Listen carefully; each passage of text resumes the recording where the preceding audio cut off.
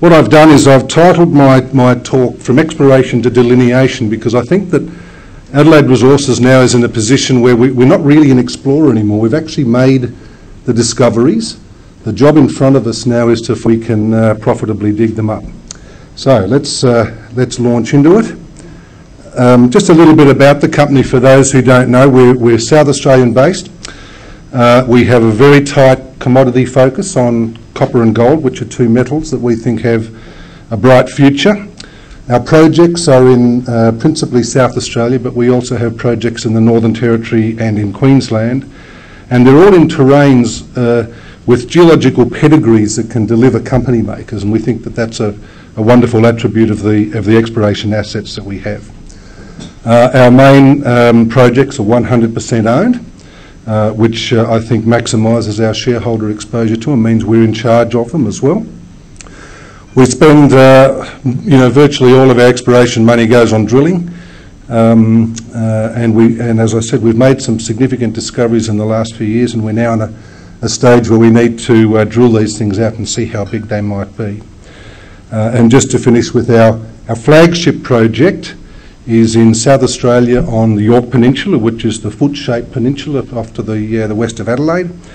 Um, uh, and it's an area with a, a long and proud copper mining history. Uh, a little, little bit about our corporate stats. The company's actually been around for a while, It listed in 96. Uh, we have about 230 million shares on issue, which I think after 17 years is a reasonable position to be in. There's a few unlisted performance rights and things for staff and executives. About 3.8 million in the bank at the moment as we as I stand here, which is a reasonable position for a junior, I think, in these what have been fairly tough markets over the last 12, 12 or so months. Uh, our top 20 hold about 36. Uh, market cap uh, of about 16, 16.9. I think it's 7.4. I think we closed uh, lower than that uh, today. So there's a, a, brief introduction. Some of the people. Our chairman is a geologist called Mike Hatcher, uh, a history with groups like Newmont and North Flinders Mines. Uh, myself, I'm a geologist as well. You've got a lot of geologists uh, around tonight. We also have an accountant and a, and a mining engineer, John Dendriver, who was part of the team that built the uh, the Granites Gold Mine for uh, mining engineer. And we have a, uh, an, an, accountant who worked at Olympic Dam and a, and a geologist, Mark Manley, who's our exploration manager, helping me out on a day-to-day basis. This is a little graph that just shows how much we are putting in the ground. Uh, it has uh, so what we what we can see on here are those those blue um, columns are the amount of money that we've spent, shareholder funds. Uh, the extensions in sort of pink on this slide here are contributions from joint venture parties, uh, and the little yellow line at the bottom is our annual admin spend. So what we like to do is to, to, to see the majority of the funds obviously go into exploration. Uh, it's come back a bit obviously in 12-13 because times have been pretty tough. But despite that, we've actually had this year, probably the, in the, the whole history of the company, the most exciting exploration results ever. So I'll, I'll talk to you a little bit about those. Uh, our projects, as I said, South Australia, Queensland and the, and, uh, the Territory. We're going to go down and, and, have a look at this Moonta copper gold project on the Yorke Peninsula, South Australia. It's only about an hour and a half's drive from Adelaide. Very, very handy. Um, now, uh, for those of you with a, a, bit of a knowledge of Australian mining history, this was an area uh, that was critically important to the early economy of South Australia, the discovery of copper at uh, Kadina and Moonta, uh, and then the um, establishment of smelting and export facilities at Wallaroo were, were very important for the, uh, for the early economy. Uh, and between them, these three areas, these three towns were the, the, the corners of what was called the Copper Triangle. Um, and um, we have a very simple goal uh, uh, on, in our project, and that's our tenement, EL4961, that surrounds the Copper Triangle. Our goal is very simple. We want to turn the Copper Triangle into the Copper Polygon. So we want to add a few more, uh, a few more production centres to those historic uh, mines at Moonta and, and Kadina. What I want to do is um, if you have a look at this slide, on the left there's a, a, a sort of a broad, a broad slide showing a, a big brown belt of uh, geology which is called the Olympic Copper Gold Province. And this is a world-class uh, piece of the, uh, the world's crust. Uh, it hosts the deposits of Prominent Hill and uh, Carrapateena, which Oz Minerals have, obviously the, the giant Olympic Dam deposit, a range of other uh, prospects just down to the south of us, Rex Minerals Hillside deposit, which looks like it might be the next one to uh, uh, go to development uh, amongst this area. But it's a it's a belt with fantastic pedigree and uh, you know a place that you can really find uh, big deposits. So what I want to do is actually, before I zoom in on our tenement, I want to actually have a bit of a look at this belt to try and set the scene, to give you a bit of a feel for uh, for what we have here on offer. This is it's a few months old now, this map, but basically this is a, a, a map of the tenement position, exploration licences that are granted in that belt. Now here I've used a purple outline to show the Olympic Copper Gold Province, and the messages are pretty simple. The first one is that every bit of, bit of ground that you are allowed to peg in this belt is pegged. Um, the, the second message is that the companies that are active in this area include a lot of the world's largest copper, copper miners and producers. We have your Antofagasta, BHP Billiton, obviously, Fortescue Oz, uh, Rex Rio Tinto, Sandfire just north of us, down on the Yorke Peninsula Straits, Xstrata Glencore.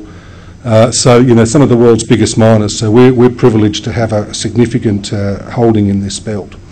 I suppose the other one, which I find somewhat amusing, is that even the waters of Spencer Gulf are pegged. So there's an unlisted company that couldn't get anything on land, but they've pegged a bit out in the ocean. Um, the, the, the, next point that I want to make is that uh, uh, the, the depth down to the prospective rocks within this belt varies greatly along it.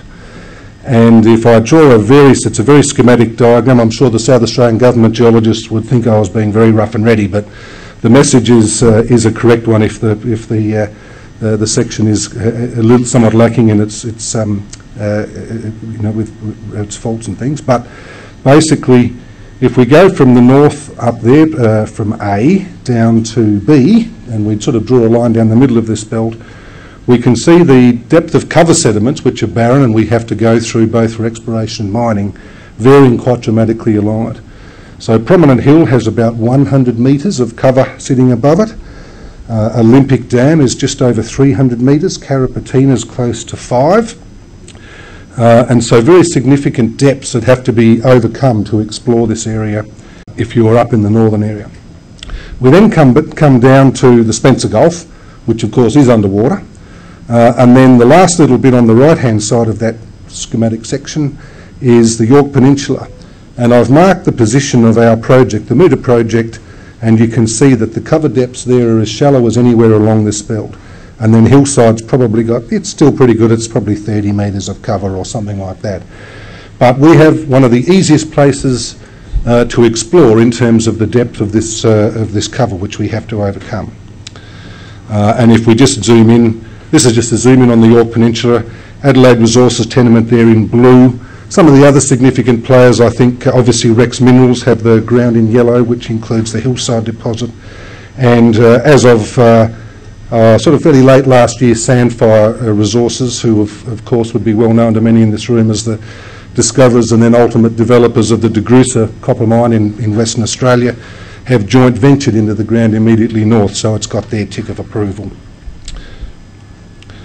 Um, now I want to sort of talk briefly about the history of exploration for just the area that we now control. Uh, and, and, and really, although there was, there was uh, mining activity back about 150 years ago, exploration in the modern sense uh, really didn't start until 1959 when Western Mining Corporation pegged tenement uh, over, the, over the area. And then some years, uh, short years later, they did joint ventures with, principally with North Broken Hill, uh, Broken Hill South was involved at one stage as well, but they controlled this area for about 30 years. Um, and they did a lot of work, uh, which I will talk about in, in a minute. Following that, they, they sold the, the tenement to a, a syndicate of WA miners, called, which, which I've just shown here as the Amalg joint venture. They, they, they, really had a production focus, digging up a couple of small things that Western Mining had found. Uh, Adelaide Resources got involved in a small part of the area uh, back in 95 when it, or 96 when it, when, it, when it actually first listed, but only about 106 square k's. And the rest of it was then being explored by MIM. Uh, and then they exited, and then Amalg sort of did a deal with BHP Minerals, so another major that had a go. Uh, we then had an opportunity to acquire all of the, the ground, which we did in about 2000 and we then joint ventured it to Phelps Dodge Corporation, who was a major US copper, copper moly producer. And then they were in there till about 2006, spent, a, spent a quite a bit of money, did a lot of work. And then we've had it, we've had the run of it since about 2006, and it's really, uh, it's, it, which is really when we've really kicked up our, our work here, or more recently. On the top, you can see the copper price in US dollars per pound for that same period. And I guess it's, it's nice that the copper price is at sort of historically high levels uh, for pretty much the period that we've had it. So we have a couple of advantages that come our way as a consequence of the history of, of exploration of this area. The first one, I suppose, is that the big boys in here, the BHPs, the Phelps Dodge, the MIMs, the Westerns, they were looking for very, very large deposits that would satisfy their corporate targets. And so there's a scale opportunity potentially for a company with a market cap of 17 million. Um, and the other thing is that they actually did a lot of work, these guys, and they left behind, um, uh, you know, a wonderful legacy of, of past exploration. Now, some of it's not digitally captured, which we have to do, but it's worth, it's, it's literally worth millions and millions of dollars if we had to go and do it again. A lot of it looks like this. These are old handwritten and typewritten logs that have never really been properly captured by the government or any other explorer that we, we're aware of. Uh, so we're going through and, and, and, and, and um, digitising all of this old data, sorting out all the problems in its location and that sort of thing, and it's a tremendously valuable extra data set, probably worth about 30 or 40 million. So just to sort of summarise on, on those, uh, those first points, we, we're in a world-class province down here uh, where uh, many of the world's largest copper miners are active. We have some of the shallowest prospective rocks in this whole belt, which opens up, uh, it obviously has a, advantages both uh, while we're exploring it, but also if, we move to mining. Obviously, the shallower the better. Um, we have the benefit of this tremendous uh, uh, database of historic we have to capture, but that's, as I said, is, is very, very valuable. So, uh, and we're, we're, we're operating at a time when, when, when historically copper prices have been better than they have over the, the sort of the modern exploration period. I know costs have gone up as well, but they're, they're still pretty good. Now, what we're doing is, now I want to talk to you about some of the results of what we've achieved this year, and I've, I've jumped straight in. I should have had a slide in here which showed you where this prospect Alford West is. It's up near the sort of central Alford West, about tenement. It's wholly within the in, in our ground. Uh, it strikes east-west, so it doesn't leave our, our tenement.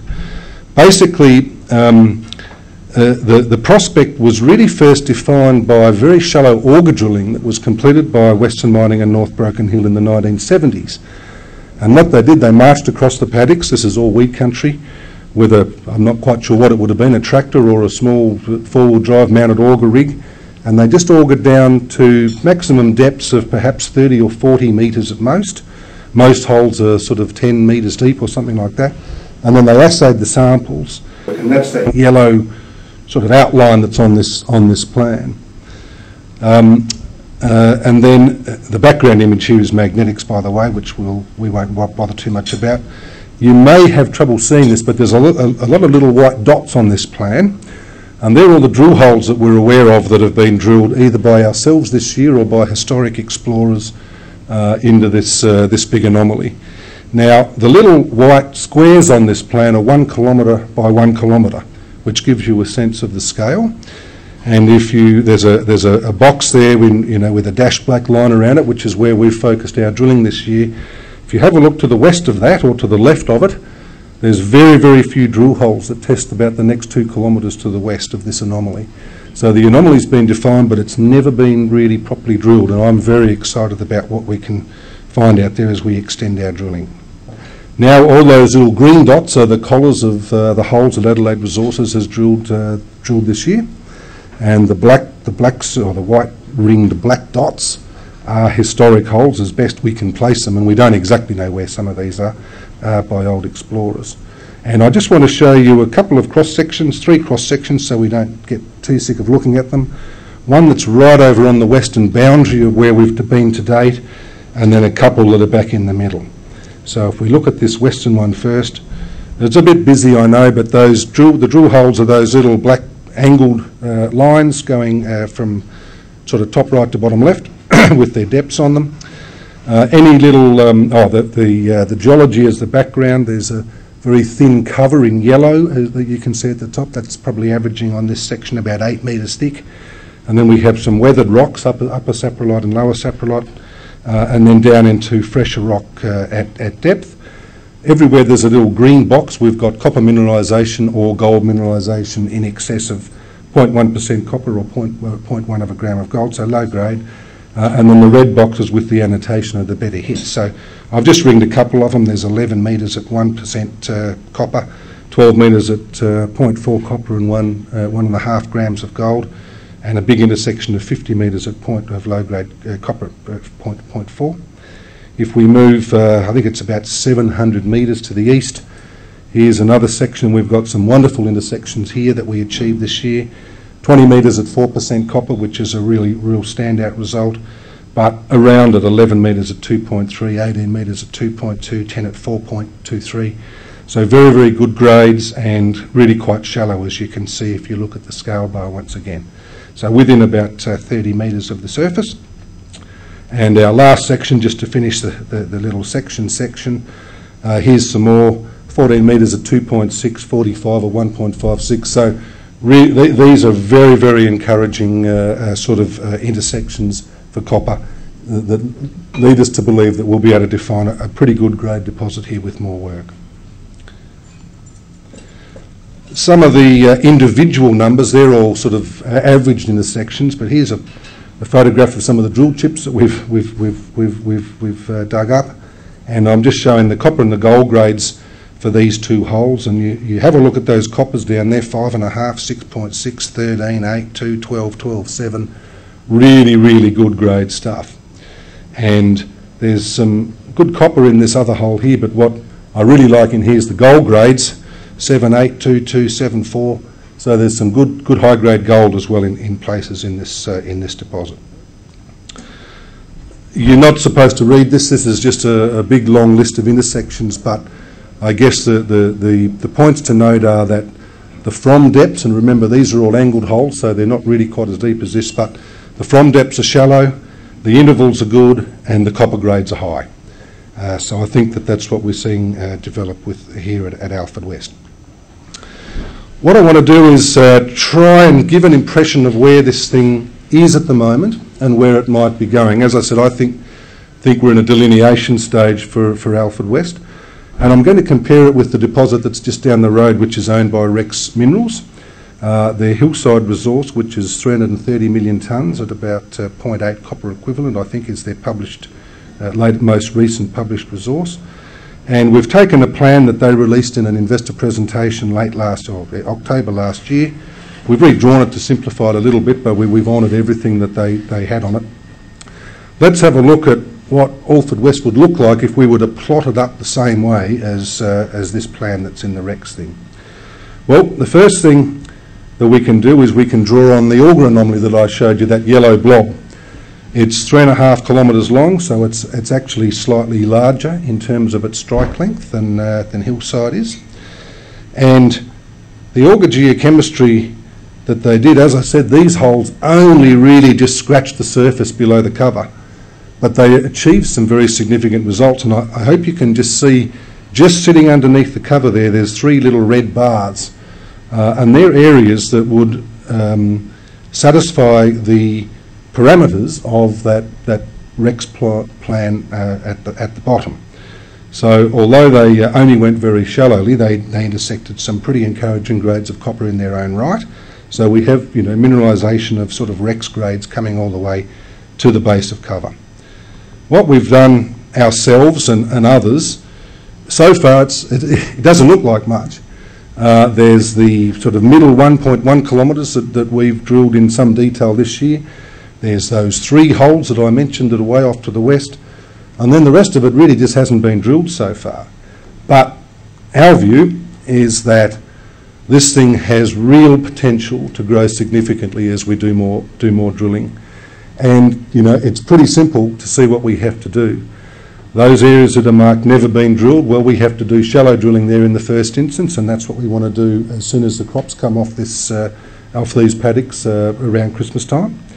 Uh, and then we, you know, the thing remains open at depth, so we need to start pushing it down at depth and start to grow, grow the size of this resource. So uh, that's basically the uh, the Alford West story, which has really been the thing which the market's focused on with us this year. Just to sort of sum up, as I said, about a 3.5 kilometre long target zone, only about 1.1 kilometres, kilometres of it drilled in any detail at this point, so there's a lot left to uh, get the first drill holes into. Coherent zones of high-grade mineralisation, some of them persisting as shallow as five metres below surface, which is very, very positive. Uh, and as I said, a very obvious forward exploration plan. We know exactly what we want to do, what we need to do here, and you don't have to be Einstein to, to see that, that what we what we want to do is, is makes makes a lot of sense. So, and, and we think exceptional potential here to define something of real value. What I want to do now is, it's not all just Alford West. I want to just point to a couple of other deposits in this same project. This is one we call Willamulka, which we discovered a couple of years ago. Uh, it's about a 1.2 kilometre long zone of mineralisation, but the best part is the southwestern sort of 550 metres, and there's just one section we'll briefly look at through here. Intersections like 17 metres at 2.6 copper and a gram of gold, and 8 metres at 1.3 copper. So pretty reasonable stuff in its own right.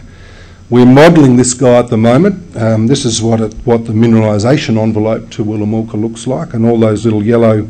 This isn't sort of like an oblique sort of seagull's eye view, I suppose, or Sydney Tower's eye view of what it would look like if we took everything but the mineralisation the drill holes away. The drill holes are those little white, uh, little yellow uh, lines. Uh, it's open along strike to the southwest and at depth, uh, and it will contribute, we think, to a sort of a project scale resource position. Baskerville we found last year, another deposit. It's about 350 metres long. It's open along strike. It's open at depth fairly complex section, but I think the team have pretty much got the geology right here. I think it's a series of stacked copper mineralised lodes. Again, there's some interesting intersections. The best one, probably 42 metres at 1% copper, so that's a pretty good hit. Do drill down dip a bit, but there's some other good ones across it, like 8 metres at 2.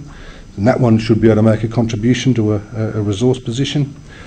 Wombat, which is named after the first discoverer of copper in the district, the first copper Signs of copper were found in wombat burrows where they dug up some green, uh, green copper carbonates. Uh, uh, an intersection again that we achieved last year, 66 metres at 1%. So there's a lot of copper in this district, there's a lot of deposits.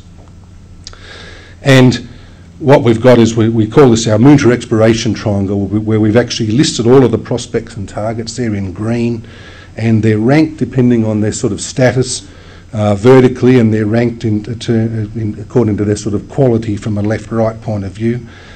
The goal obviously is to, to increase the quality of them and move them up the list, but um, uh, there's a very, very strong pipeline of other stuff to, to come after. So let's just uh, finish up with Moonta and I just will then talk very briefly about some of the other company's assets very, very widespread pros prospectivity for shallow copper gold. And I mean, we, we've basically been finding one a year for the last three years out here. Um, uh, they are deposits that, that hold together. Uh, we can build a resource uh, base around these, which we're working on at the moment. Um, as I said, this mineral inventory is now starting to emerge uh, with uh, Willamulka, Baskerville, Wombat, uh, Alford West and whatnot. Um, and uh, it's really transitioning, as I said, from a sort of discovery phase through to a delineation phase, where we are about building that resource position, which hopefully the market will reflect in, in an increased market cap of, uh, of the company. Just very briefly to finish off, I just want to quickly touch on three of our other projects. Rover in the Northern Territory, uh, the Eyre Peninsula down in South Australia on the other peninsula, and then uh, we'll duck up to Queensland and have a quick look at Drummond very, very, very, very quickly.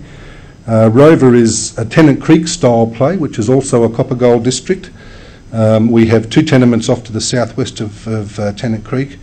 These have about 100 to 200 metres of barren cover above them, so they have an impediment uh, there. But we've made some discoveries at Rover 4 and Rover 1, which are shown on that map over the, the last few years.